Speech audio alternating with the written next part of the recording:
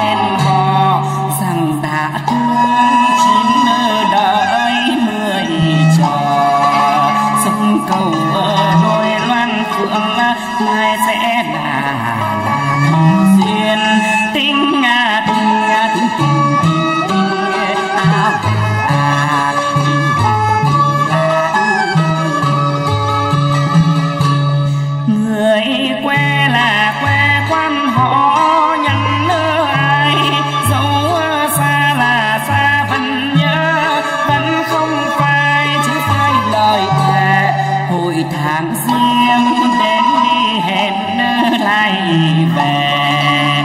Cưới dâu ở tem canh phượng